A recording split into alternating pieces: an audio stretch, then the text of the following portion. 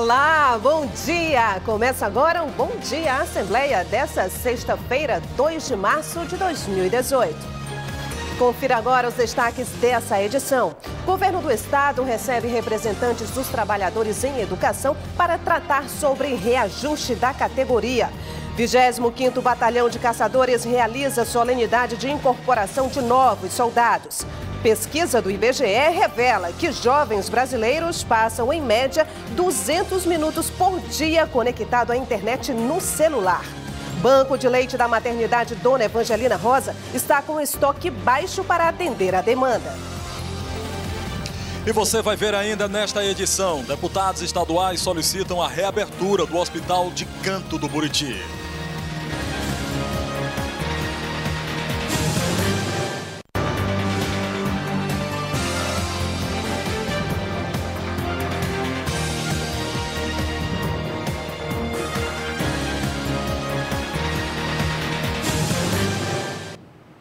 Vamos direto para a Assembleia Legislativa falar com Bartolomeu Almeida, que vai trazer as notícias do Parlamento Estadual. Olá, Bartolomeu, bom dia para você. Quais as notícias discutidas, assuntos tratados na última sessão da semana? Um ótimo dia para você, uma sexta-feira com clima, tempo ameno aqui na capital do Piauí, Nájila Fernandes. Um bom dia para os telespectadores, pessoal que nos acompanha sempre através do canal 16.1, o pessoal na NET nos acompanhando no canal 7 e na Sky HD TV no canal 316.1. Olha, Nájila, na última sessão plenária da semana, os deputados solicitaram a reabertura do hospital de Canto do Buriti, importante município no sul do estado. Os deputados solicitaram também a a organização do transporte para pacientes renais. Vamos acompanhar os detalhes na reportagem de Eliezer Rodrigues e de Luiz Carlos Paiva. Em discurso na tribuna, o líder do governo na Assembleia, deputado João de Deus Souza, do Partido dos Trabalhadores, destacou recursos e investimentos conseguidos pelo governador Wellington Dias após viagem oficial à Europa. O deputado doutor Hélio Oliveira, do Partido da República, requisitou à Secretaria de Estado da Saúde a reabertura do Hospital de Canto do Buriti. Wilson Brandão, do PSB, requisitou também à CESAP a regularização do pagamento do transporte destinado a pacientes renais da região de São Raimundo Nonato. Aloísio Martins, do PT, apresentou projeto de lei que denomina João Coelho o trecho da PI 110 que liga o município de Alto Alegre a Piracuruca. Essa PI já foi inaugurada, inclusive durante o governo do Wilson Martins. E o senhor João Coelho, que foi vereador, foi uma grande liderança lá na região de São João da Fronteira, especialmente na comunidade de Alto Alegre, lutou muito por esse objetivo, por esse sonho. E é uma pessoa que já faleceu, é uma pessoa que viveu há mais de 80 anos naquela região, e nós estamos apresentando aqui esse projeto para denominar essa PI 110 de João Coelho, exatamente pela luta dele, pela importância que ele teve, no sentido de viabilizar essa estrada que liga Alto Alegre ao município de Piracuruca. Então, é uma homenagem justa, acredito que essa casa aqui vai apreciar esse projeto e vai aprovar, porque representou uma grande luta dessa liderança lá daquela região e de sua família e com certeza será justa essa homenagem, porque é uma estrada importante que liga o povoado de Alto Alegre ao município de Piracuruca. Está aí, portanto, o resumo da sessão plenária, da última sessão plenária da semana. Olha, Nájila, não sei se você tem problema de sono, mas algumas pessoas sofrem com distúrbio de sono. Agora, dia 16 de março, vai ser comemorado o Dia Mundial do Sono. É um, do sono. É um dia importante para discussões debates a respeito deste assunto. Ontem, o presidente da Assembleia Legislativa, deputado Temístocles Filho, recebeu o médico Cícero Alves. O doutor Cícero Alves é especialista no sono e a fisioterapeuta especialista no sono, Deise Iqueda. Eles vieram é, comunicar ao presidente, convidar o presidente da Assembleia Legislativa para participar das atividades alusivas ao Dia Mundial do Sono e também na oportunidade conversaram a respeito do sono, dos distúrbios né, que muitas pessoas sofrem com o sono. Vamos ouvir então os dois profissionais de saúde, o doutor Cícero Alves e a fisioterapeuta Deise Iqueda sobre o assunto. Nesta quinta-feira, o presidente da Assembleia Legislativa, deputado Temístocles Filho, recebeu na sala da presidência o médico Cícero Alves, especialista em sono, e a fisioterapeuta Deise Iqueda, presidente da Associação Brasileira do Sono, Piauí. Os dois profissionais de saúde convidaram o presidente da Assembleia Legislativa para participar das atividades voltadas para o Dia Mundial do Sono, 16 de março. Durante a semana, né, nós não só o Dia né, Mundial do Sono, mas nós estendemos por uma semana inteira, certo? E durante essa semana a gente vai fazer então campanhas em escolas, né? nós iremos nas escolas é, de ensino fundamental e médio fazendo essa, fazer essa campanha. No sábado, dia 17 de março, né, nós teremos pela manhã uma palestra aberta para todas as pessoas, né, é, para leigos, para o público leigo, com especialistas, é, pneumologista, otorrino, neurologistas, fisioterapeutas, psicólogos, né? Todo mundo, porque o sono ele é multiprofissional, né? Todo mundo que está envolvido com sono, na, na, no dia 17 de março, pela manhã, lá no Hospital São Marcos. Né? E pela tarde nós iremos lá no Parque Poticabana, certo? Com folders, com bexigas e também com banners, fazendo então essa orientação para toda a população que estiver por lá. O médico Cícero Alves fala da importância de um bom sono. O que é importante é que a gente tenha uma qualidade de sono. Não importa apenas dormir 6, 8 horas por dia. Tem que ter um sono de boa qualidade, atingir as fases profundas do sono a partir do momento que a gente atinge essas fases mais profundas, que são as fases justamente mais importantes, é que a gente consegue obter do sono os benefícios para a nossa saúde, que são a produção de anticorpos, que são as proteínas de defesa, a produção de hormônios, a aquisição da memória. Só para que os senhores tenham ideia, 30% a 40% de todas as informações novas, as quais a gente é apresentado durante um dia, elas são é, acumuladas no nosso cérebro única e exclusivamente se a gente tiver uma fase do sono que chama sono REM. Então é importante que a gente tenha um sono de em, no mínimo de, de horas para que a gente consiga atingir essa fase mais profunda do sono e a gente tenha essa memória. E fala também sobre os distúrbios do sono. Os dois mais comuns são os distúrbios respiratórios, que é o ronco e a apneia do sono, e a insônia. A apneia é uma dificuldade para respirar durante o sono, em que alguns pacientes apresentam. Normalmente, a gente tem três situações é, do ponto de vista respiratório. O primeiro é aquela situação do paciente que não ronca quando ele está dormindo. A partir de um certo momento, ele pode começar a roncar e geralmente é uma fase de transição para a chamada apneia do sono, que é quando o paciente apresenta inúmeras paradas de respiração durante a noite. É importante frisar que toda vez que esse paciente para de respirar, ele desperta, e ao despertar, ele libera determinadas substâncias que aumentam a pressão arterial e aumentam a chance de infarto, derrames e até mesmo mortes súbitas durante a noite. Olha, Nájila, telespectador, este é um assunto bastante importante. Ainda uma informação divulgada ontem pelo Dr. Cícero Alves, ele disse que há uma diferença muito grande em relação ao sono do dia e da noite. Tem muitos profissionais que trabalham à noite e acabam dormindo durante o dia. Ele disse que isso não é bom porque eh, não tem o mesmo resultado do sono da noite. É importante que haja uma permuta é, para que então a pessoa não, não venha a sofrer consequências terríveis para a saúde. É um assunto que merece, que requer então uma discussão mais ampla, como tem muita gente que sofre com o sono, sofre com os distúrbios do sono. E logo mais às 9 horas na Câmara Municipal de Teresina, Nájila e telespectador, será divulgado os 12 deputados federais jovens do estado do Piauí.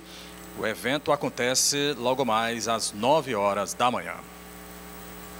O objetivo é fazer a divulgação do parlamento e a apresentação dos projetos, nos quais fomos selecionados por Brasília, né, para ser deputados federais jovens aqui do nosso estado. Qual a importância de um parlamento como esse? A importância do parlamento é porque ele é voltado para criar projetos de leis para ajudar a melhorar as mazelas da sociedade brasileira. Porque, como nós somos deputados federais jovens, nós criamos projetos voltados para a educação, para a segurança, para a economia, para a agricultura, já visando melhorar a vida, né? A comunidade como um todo do nosso país. Todos estão convidados para participar do evento de sexta-feira? Todos estão convidados. Não é um evento de, de bandeira partidária, não não é de partido, é um evento do Parlamento Jovem, é um evento nacional. Então, qualquer pessoa da sociedade piauiense, eu faço um convite e um pedido que compareça, que vá prestigiar, que vai ter conhecimento do que é o Parlamento Jovem e a sua importância.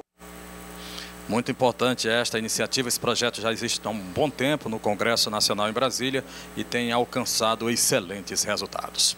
Olha, Nájila, essas foram as primeiras informações da manhã desta sexta-feira. Daqui a pouco eu volto ao vivo com as entrevistas do dia. São duas entrevistas interessantes para os nossos telespectadores.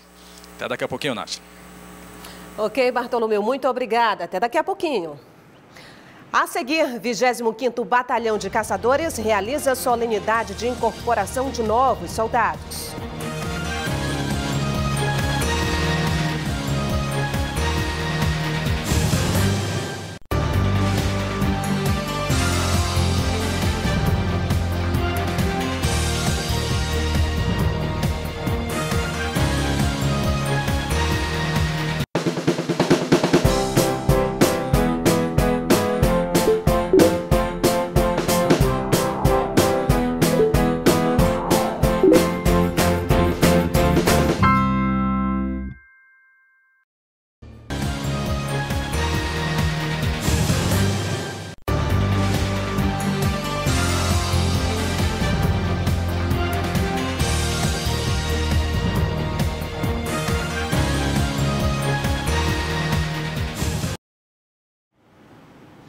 Foi realizado na noite de ontem a solenidade de incorporação dos soldados do efetivo 2018 do 25º Batalhão de Caçadores. Na oportunidade, os deputados estaduais Henrique Rebelo e Temístocles Filho, presidente da Assembleia Legislativa, foram homenageados. Ao todo, são 241 recrutas que passam a fazer parte do Exército Brasileiro e que estão agora a serviço do 25º Batalhão de Caçadores. Importância que, na verdade, mostra a missão essencial do nosso batalhão.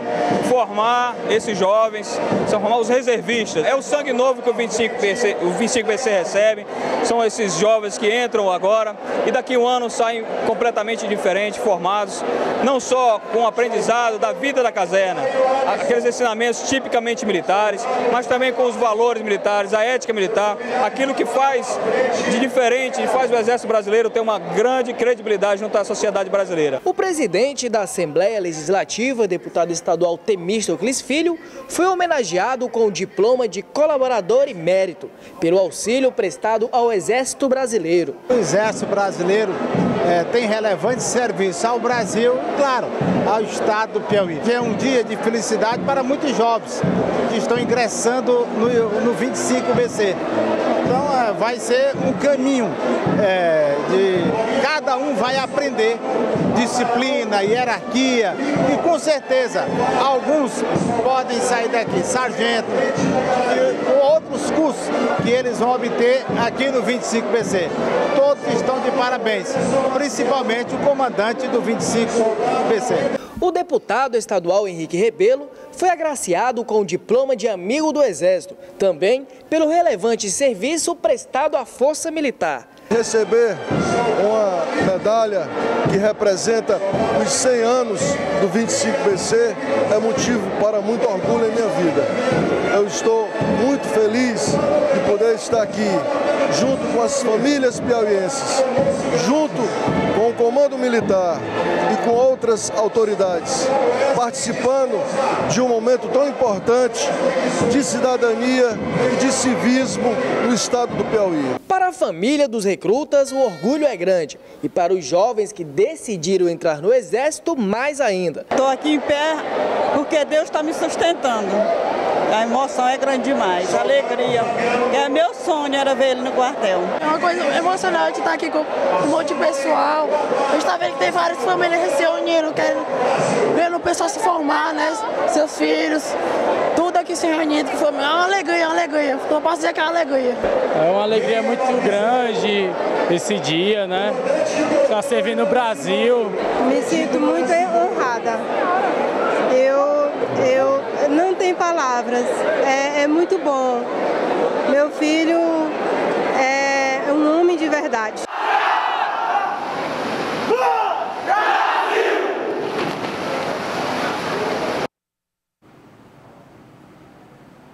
Banco de Leite Humano da maternidade Dona Evangelina Rosa está com seu estoque de leite humano reduzido. Cerca de 80 bebês prematuros estão internados em unidades de cuidados intensivos e precisam do alimento diário.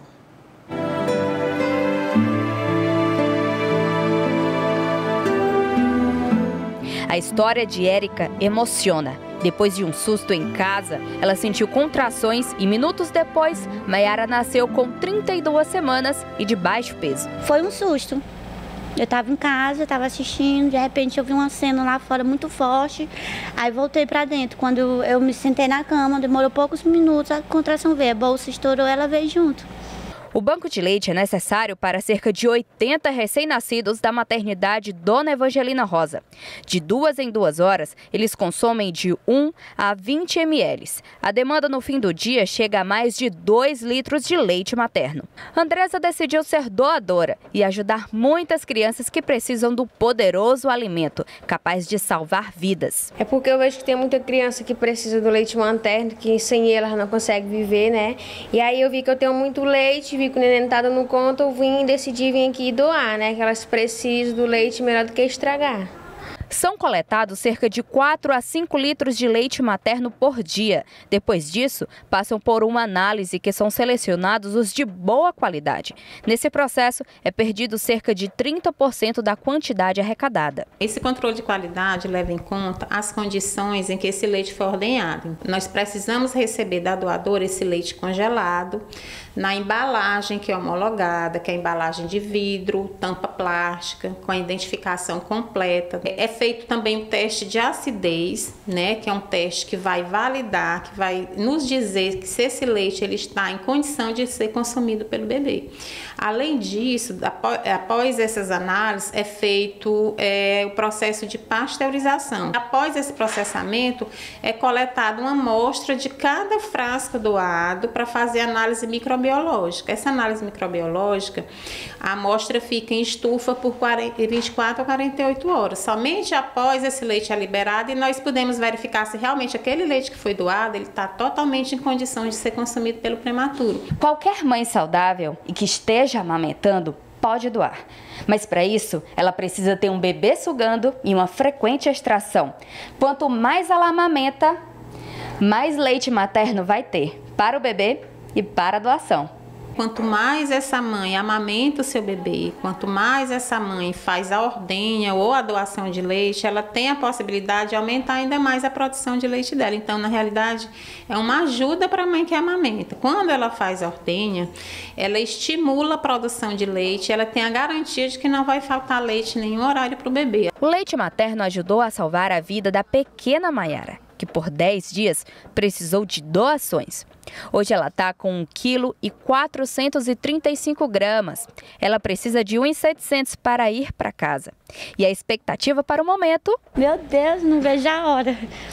Daqui a uma semana eu espero que eu esteja com ela em casa. Olha, os bebês prematuros precisam demais dessa doação. Então, quem tem interesse em doar deve entrar em contato com o serviço coletor do Banco de Leite através do telefone, dos telefones 3228 2022 ou 0800 280 2522.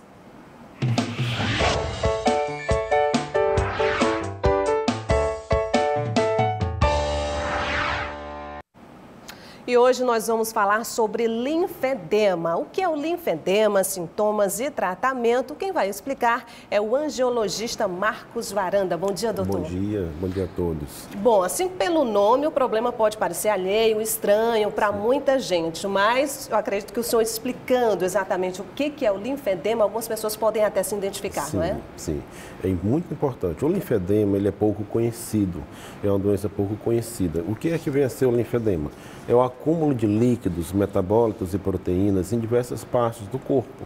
E isso pode ser devido a diversas causas. Pode desde congênitas, né, que a, a, surge quando a criança nasce, desde o nascimento da criança, como devido a uma hipoplasia do sistema, não desenvolvimento do sistema linfático, ou pode ser adquirido, certo? Nós podemos citar é, mais frequentes no nosso meio é o linfedema devido a infecções de repetição em membros inferiores, que são as erisipelas, ou até mesmo pós-cirúrgicos, né, em membros superiores devido a mastectomias, né, que tem uma incidência de em torno de 2% dos casos, e se esse valor, esse percentual aumenta quando associado à radioterapia.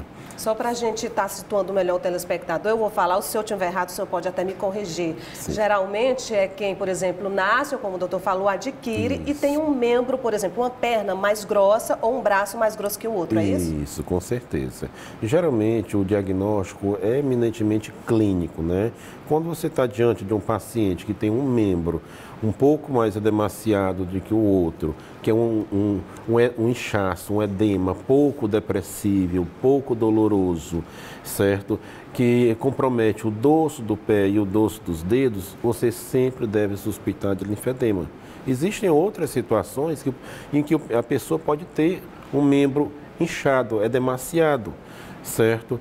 Nesses casos, é, às vezes é necessário pedir alguns exames laboratoriais, dosagem de função renal, hepática, testes cardíacos, certo? É, é, dosagens hormonais para saber se o paciente tem hipotireoidismo crônico, certo? Ou até mesmo algumas medicações, como corticoides, é, alguns diuréticos e alguns antipertensivos. O problema pode atingir tanto o homem quanto a mulher? Tanto o homem quanto a mulher. Vai desde os dois anos até os 60 anos de idade. Além da questão Sim. do inchaço, é, tem alguns sintomas que a pessoa também pode ficar mais atento e se identificar? Tem. Além do inchaço, você tem que observar alguns outros sinais. É, tem que avaliar a história do paciente, saber se ele teve infecções de repetição no passado, certo? E o, o edema, um edema bem característico, é o fibroedema, certo? Ele tem aparência, no, quando ele se torna crônico, vários anos de evolução, ele tem uma aparência de casca de laranja, aquele edema. Agora, quando diagnosticado, independente da causa, é, por exemplo, numa criança, ele pode ser estagnado é, ou certamente ele vai ter evolução? Olha, pode. O linfedema, assim, apesar de toda a tecnologia que nós temos hoje, os recursos, ele não tem cura. Mas é muito importante o tratamento para bloquear a evolução da doença e suas graves consequências, né? Como que é feito esse tratamento? O tratamento, ele baseia basicamente em quatro pilares, né?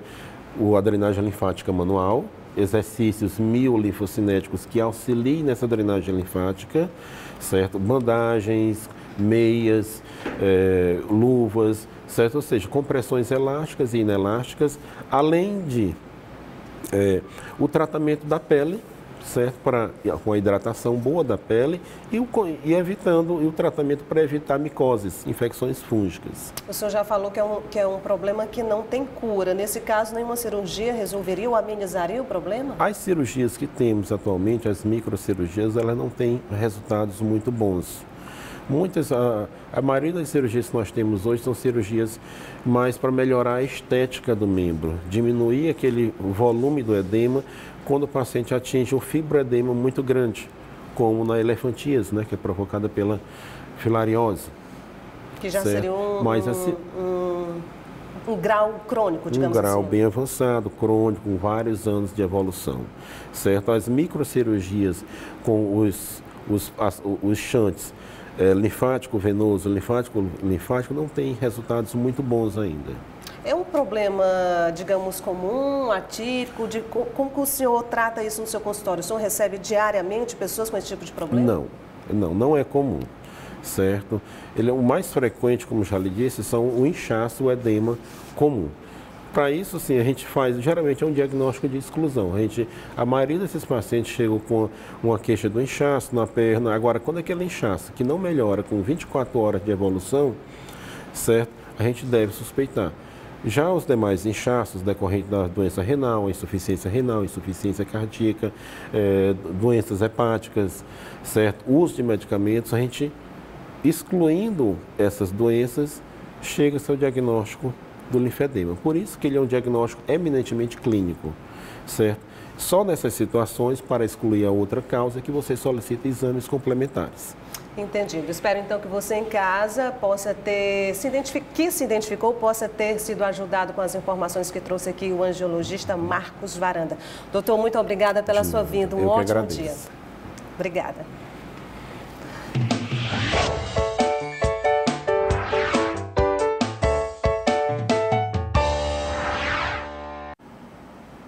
E a seguir você vai ver que o governo do estado recebe representantes dos trabalhadores em educação para tratar sobre reajuste da categoria.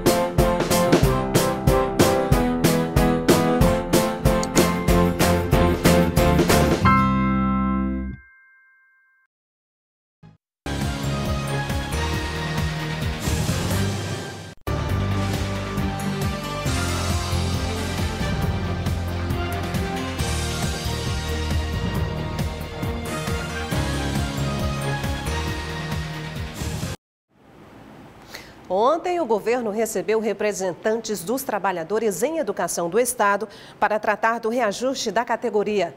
A repórter Lalesca Setúbal acompanhou a reunião e traz os resultados. O governo autorizou um aumento no auxílio alimentação em vez do reajuste salarial para o magistério de 6,85% e 3,15% referente a um reajuste do ano de 2017 para os demais funcionários da educação do Estado. E o primeiro reajuste é para a partir do mês de maio. Mas a categoria não concordou e foi realizada uma reunião no Palácio de Karnak com os secretários do governo governo do Piauí. Encontramos uma alternativa de atender pelo menos parcialmente a um reclamo da categoria através da criação de um auxílio alimentação. A categoria argumenta que o auxílio alimentação não pode ser pago aos, aos aposentados, como de fato não pode. Não pode. A gente reconhece. Entretanto, não há nenhum mecanismo legal que permita ao Estado nem dar aumento de vencimento, nem dar auxílio, auxílio alimentação para os aposentados. Quer dizer, nós fizemos o que era legalmente possível possível. Na reunião, o governo explicou para a categoria que não vai poder aumentar as porcentagens agora, já que pela lei de responsabilidade fiscal, o orçamento estadual não pode ultrapassar do previsto, já que o TCE alertou que nesse momento o estado não pode realizar reajustes, vantagens ou aumentos para nenhum servidor. A partir disso, a ilegalidade da greve pode ser pedida. O governo já solicitou a ilegalidade da greve, porque é da nossa responsabilidade utilizar todos os instrumentos para procurar garantir o direito dos, dos nossos estudantes a terem aula. A categoria não aceitou a decisão e está irredutível. A greve dos professores vai continuar. É como nós falamos, estamos abertos à negociação para que a gente chegue a um denominador comum e acreditamos que a greve continua até a gente ter uma saída melhor e mais plausível que atenda às expectativas da classe trabalhadora. Vamos falar novamente com o Bartolomeu Almeida, direto da Assembleia Legislativa. Bartolomeu, é verdade que o Piauí se destacou, é, digamos, na visão do Fundo Internacional de Desenvolvimento Agrícola? É verdade, Nájila Fernandes. O estado do Piauí vem se destacando na, na criação de ovinos e caprinos, é a ovinocultura em destaque no estado do Piauí, já é tradição no estado do Piauí e agora está mais se profissionalizando, especialmente na região de Queimada Nova, região de Betânia do Piauí, tem uma grande criação desses animais de pequeno porte. Quem nos traz mais informações é o Francisco Ribeiro.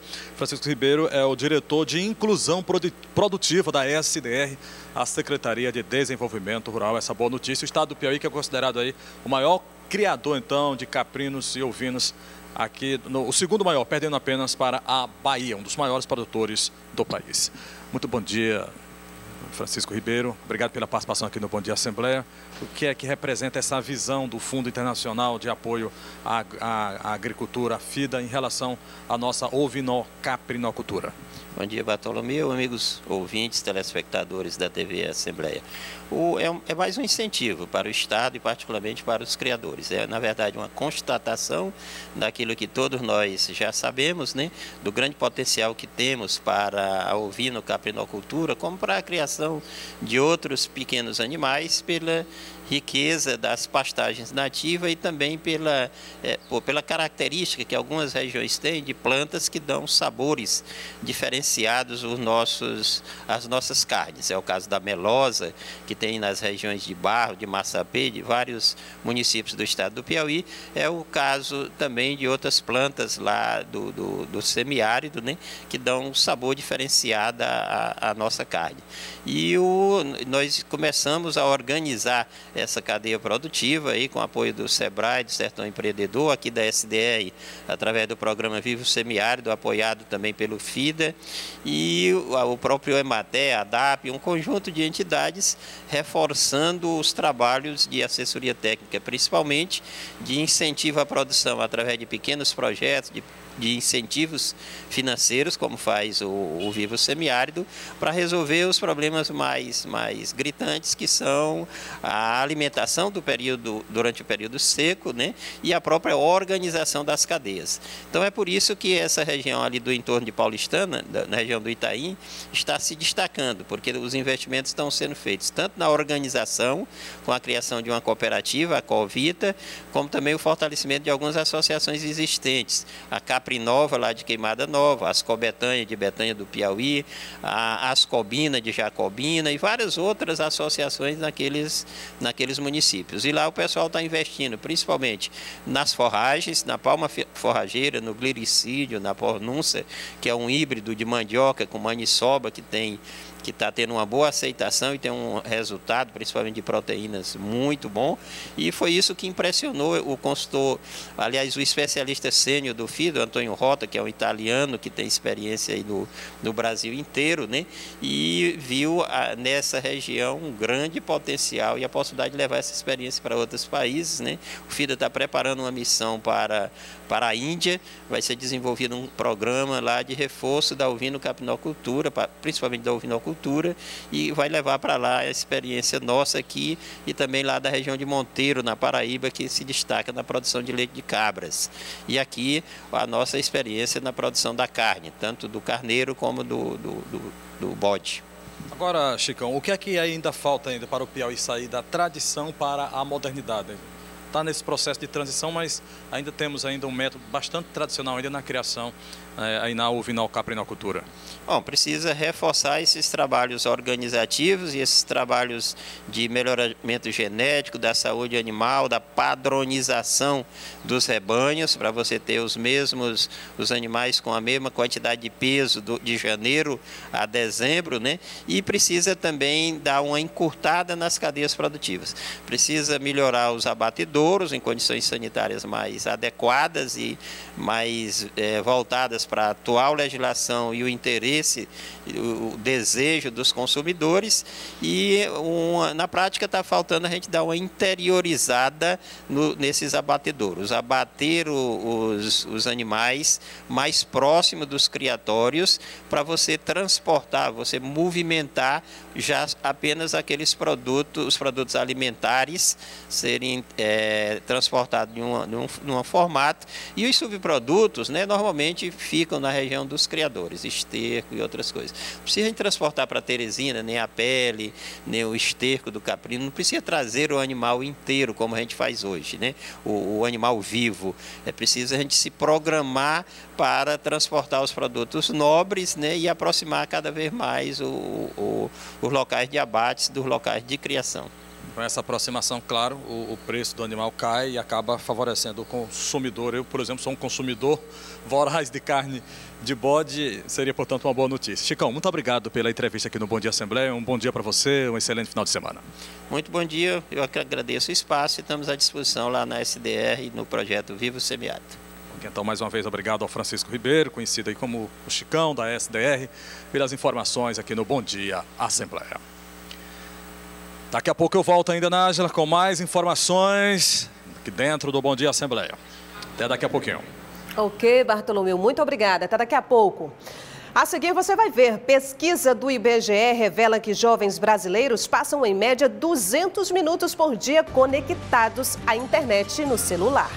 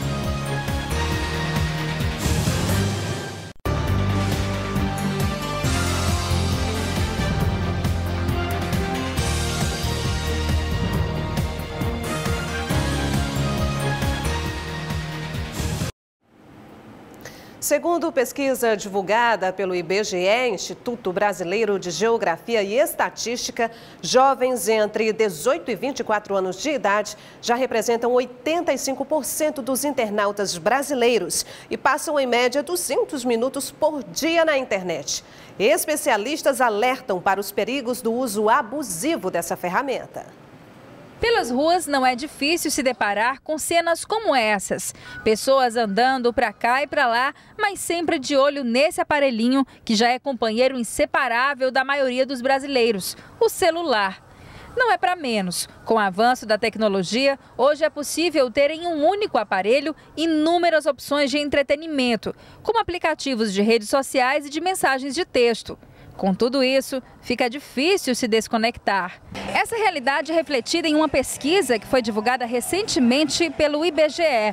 O estudo mostrou que os brasileiros gastam em média 200 minutos por dia em aplicativos no celular. Maior parte desses internautas é formada por jovens em idade produtiva. A pesquisa mostrou que 94% dos internautas acessam a internet no celular para trocar mensagens de texto, voz e redes sociais por aplicativos. Jovens entre 18 a 24 anos de idade são os que mais acessam, representando 85% dos internautas. Para este psicólogo, o estudo revela algo preocupante: o risco da ferramenta de entretenimento virar vício, que já tem até nome. O uso abusivo dos celulares pode ocasionar um transtorno psicológico chamado nomofobia, né? que esse é nomo, nomobile, né? que vem da questão de estar sem o celular. A pessoa que se vê de repente no meio da rua, saiu de casa alguns minutos, ah, não estou com o celular, tenho que voltar, porque senão eu não consigo ficar bem. Então é uma dependência muito grande do celular e da internet. Ela, ela não consegue ter aquele sistema de é, recompensas satisfeito. Então ela sente a necessidade de ser reconhecida, de ser curtida, de ter likes, ter coraçõezinhos de Instagram. Quanto mais isso for é, recebido, maior recompensa, maior dependência possível futura. Né? Se ela não consegue contrabalancear isso com as relações pessoais reais, atividades reais, sociais, ela vai cada vez mais se tornar dependente. O especialista enfatiza ainda sobre os efeitos do uso excessivo da internet e aconselha para ter uma boa saúde mental, é preciso se desconectar de vez em quando. Se o fato de estar sem celular te causa muita angústia, estresse, ansiedade, provavelmente você esteja iniciando nesse grau de nomofobia. E aí, dependendo do comprometimento emocional, a pessoa ela pode precisar de uma psicoterapia ou até também de um tratamento de medicação psiquiátrica. Às vezes insônia, falta de ar, tonturas, dor de cabeça, sudorese próprios do pânico, né? Da ansiedade. Tentar viver a vida real, então, né? Vamos lá, realizar, tá. como digo, realizar a vida e não virtualizar a vida. Vamos mais uma vez falar com Bartolomeu Almeida, direto do Parlamento Estadual.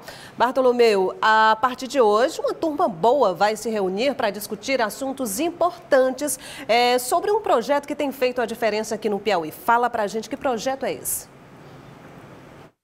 A partir de hoje tem início o quarto encontro pedagógico Mirim Cidadão. Esse projeto de formação de cidadania desde a adolescência, da infância, já vem sendo realizado há um bom tempo. Então, a, através da Secretaria de Estado da Segurança Pública, nós vamos levar mais informações então a respeito então deste quarto encontro pedagógico para esta importante formação com a capitã Enira Oliveira, ela que é assessora de políticas preventivas da Secretaria de Estado da Segurança. Capitã Enira Oliveira, um bom dia.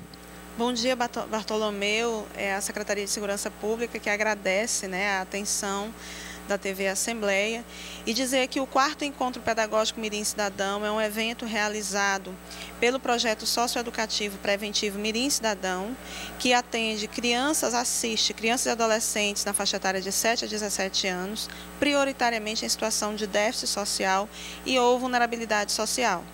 O projeto Mirim Cidadão ele é uma integração das três instituições estaduais que fazem segurança pública no estado do Piauí: a Polícia Militar, a Polícia Civil e Corpo de Bombeiros Militares. De modo que essas três instituições se unem à comunidade com pessoas profissionais que desejam melhorar a qualidade de vida de sua comunidade. E dentro das comunidades é feita a articulação dessas comunidades no intuito de promover essa formação humanística, intelectiva e cidadã de crianças e adolescentes. Neste quarto encontro pedagógico, os educadores sociais vão estar sendo formados para ministrar estatutos dos direitos da criança e do adolescente, educação ambiental, ética e cidadania, evoluções em comandos coletivos, que é uma disciplina que chama muita atenção da criança e que transmite a cooperação, a unidade, o respeito, a disciplina, tudo aquilo que uma criança precisa para ser um cidadão é, crítico, consciente, conhecedor do seu papel na sociedade e sabedor do seu potencial na melhoria da, de transformação, na melhoria da qualidade de vida da sua comunidade. O quarto encontro tem início hoje, segue até domingo. Explique mais um pouquinho, capitão, por favor. Sim, o quarto encontro pedagógico inicia hoje, 2 de março, às 14 horas, no auditório do Instituto de Educação Antonino Freire. Amanhã, 3 de março, de 14 às 19 também. E no domingo, de 8 ao meio-dia. Temos aí professores da Universidade Estadual do Piauí que colaboram, também professores da FATEP-FAESP, policiais militares, policiais civis, bombeiros militares e outras pessoas da comunidade também formadas que fazem essa colaboração, que se dedicam, que fazem essa campanha do bem aí em prol da formação de crianças e adolescentes e da melhoria da qualidade de vida das comunidades. Como a Secretaria de Estado da Segurança avalia então a importância desse projeto, os resultados que eles vêm alcançando, capitão? Muito importante, muito importante mesmo, que inclusive o ano passado nós tivemos o primeiro Fórum Time de Cidadão, em que adolescentes de 14, 15 e 16 anos estavam dialogando em mesas de debate com autoridades da segurança pública, da assistência social do município, do estado, falando sobre segurança preventiva, falando sobre o papel deles como pró protagonistas da segurança pública como cidadão e como toda a sociedade é protagonista da segurança pública a partir da sua conduta, né, na sua vida pessoal, na sua vida coletiva. E é importantíssimo também o fato do secretário estadual de Segurança Pública estar empreendendo esforços, né? O secretário Fábio Abreu empreendendo esforços para que esse projeto não fique só numa política de governo, né? Que é muito apoiada pelo governador Wellington Dias, mas que também se transforme numa política de Estado. Para isso foi encaminhado o projeto de lei Mirim Cidadão para o governo do Estado e ele deve estar encaminhando para a Assembleia Legislativa a fim de que seja aprovado. E são quantos jovens, crianças atendidas então por esse projeto? Hoje, cerca de 7 mil crianças, 38 locais aqui na capital e 16 no, no interior do estado, 16 municípios. Como é que está o envolvimento das famílias dessas crianças? As crianças, as famílias, elas se envolvem muito porque todo final de semana o projeto ele acontece uma vez por semana, né? Durante quatro horas, em que eles têm atividade pedagógica, atividade artística, os comandos coletivos e a parte esportiva também. E as mães, os pais, eles normalmente frequentam. As, também nós temos o acompanhamento de psicólogos, é, assistentes sociais, que fazem esse acompanhamento das famílias, tanto para melhorar o relacionamento familiar como o relacionamento comunitário. Então, os pais e as mães, eles estão lá também dentro do projeto, ajudando nas atividades, cooperando com o trabalho que está sendo desenvolvido. Quais são os critérios para ingressar então nesse projeto? Bom, primeiro precisa estar matriculado numa escola regular. Se a, se a criança está numa situação crítica de vulnerabilidade social, tem que estar sendo acompanhada pelo CRAS ou pelo CAPS, né? E o, a criança que esteja matriculada na escola deve estar matriculada na escola para participar do projeto. Aí ela leva os documentos pessoais, os pais levam os documentos pessoais e essa criança, ela é passa por uma avaliação médica para receber um atestado médico, um atestado de saúde, porque também o educador físico faz esse acompanhamento, promovendo aí a saúde física saudável dessas crianças e adolescentes, o desenvolvimento físico deles. Para isso também no projeto nós temos educadores físicos que fazem esse acompanhamento da qualidade de vida. E também temos o pedagogo, né? O pedagogo que faz um papel importante de mostrar para essa criança e adolescente do projeto que ele é um protagonista do conhecimento, que o professor é um mediador e que ele por meio da leitura, da leitura por meio meio do treino é, é incansável né, das disciplinas práticas, ele é quem vai produzir esse conhecimento por meio da pesquisa. Esse projeto ele existe em outros municípios também, além de Teresina? Sim, 16 municípios, como José de Freitas, Campo Maior, São Gonçalo do Burgueia, Uruçuí, Água Branca, Lagoinha e outros, são 16 ao todo. Então vamos recapitular então o quarto Encontro Pedagógico Cidadão Mirim tem início hoje segue até domingo com, em, em turnos diferenciados, não é isso, capitão?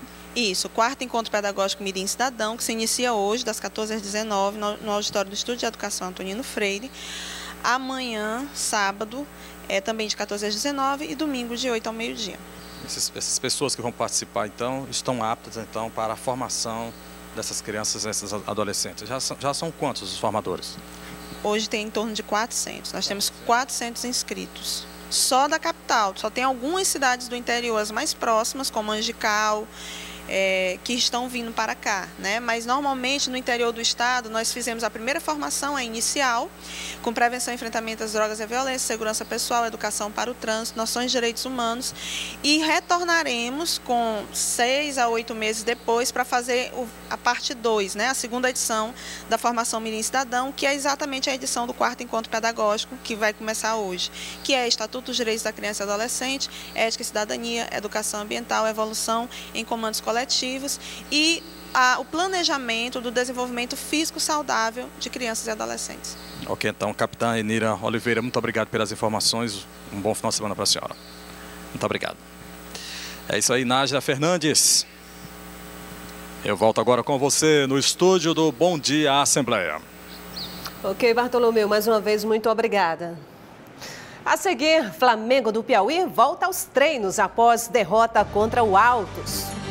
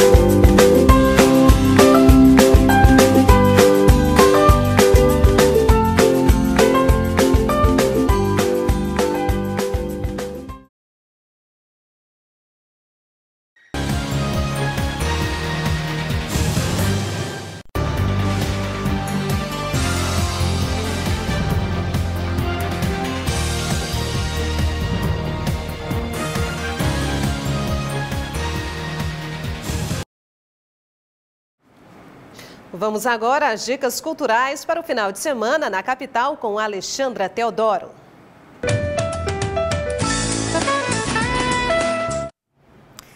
Bom dia para você que está ligado aí no Bom Dia Assembleia. Sim, a gente traz algumas agendas culturais para você curtir aí na capital a partir de hoje. Então, sugestão para esta sexta-feira, por exemplo, né, QG do Malte, lá tem samba, som de cera. Aliás, hoje é, é sertanejo pop, né? Samba lá vai ser domingo. Bom, então sexta ao vivo, né? Hoje dia 2, lá no QG do Malte. A gente tem mais dicas aí para você que quer curtir na cidade de Teresina nessa sexta-feira. Olha só, sexta-feira às 20 horas, papo de samba no Cantinho do Coreto. A gente traz umas agendas é, que incluem diversos estilos musicais, né? Que agrada a gregos e troianos. Mais outra sugestão, no Morada Nova Cajuína Shows e Eventos. Então, são os três dias aí. Nesta sexta por lá, hoje tem Rosa Shot, tem também Léo Cachorrão. Amanhã, que é sábado, tem Nasa Show e Forró de Paredão.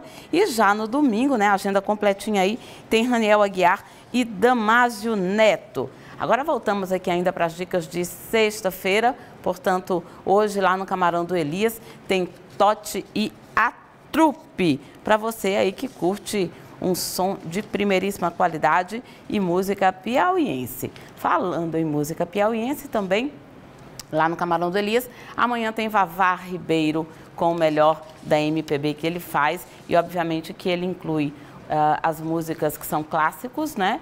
e também inclui os seus trabalhos autorais, que realmente chamam bastante atenção.